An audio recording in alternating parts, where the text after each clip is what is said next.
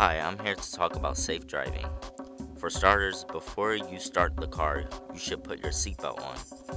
Make sure you have everything under control, like cell phones, text messages, and other distractions. And remember, if you're between 16 and 18, there are restrictions on who you should have in your car. Did you know that about one third of deaths among 13 to 19 year olds in 2010 occurred in auto accidents?